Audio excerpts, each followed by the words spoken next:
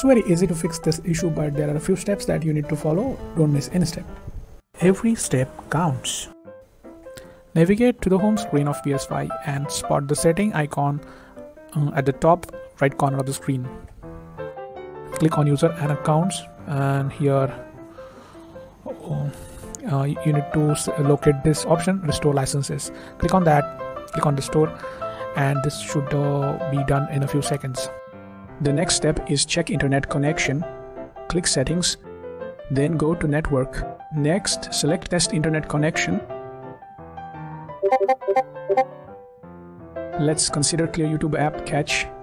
Click settings, then go to storage. Then select apps, find YouTube. Later, click clear cache. The next step is reinstall YouTube app. Click settings. Now go to storage. Later, select apps, find YouTube. Then select delete. Then reinstall YouTube from PlayStation Store. You are good to go. That's it.